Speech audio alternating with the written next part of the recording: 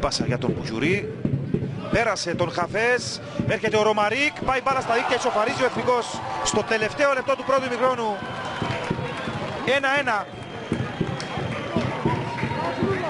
Πουτσουρής ο οποίος είχε σκοράρει, είχε δώσει τη στον αγώνα με τον Ερμή στην ε, τελευταία αγωνιστική του πρωταθλήματος. Ο Εθνικός εξαργυρώνει την επιθετικότητά του στα τελευταία 10-12 λεπτά του πρώτου ημιχρόνου από την έξοχη πάσα του ε, Πράκερ αρχίζει η φάση.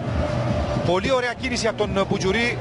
Προλαβαίνει τον Ρωμαρίκ στο τέλος της φάσης και καταφέρνει να στείλει την μπάλα στην απέναντι γωνία. Δεν μπόρεσε να αντιδράσει ο Γιωργαλίδης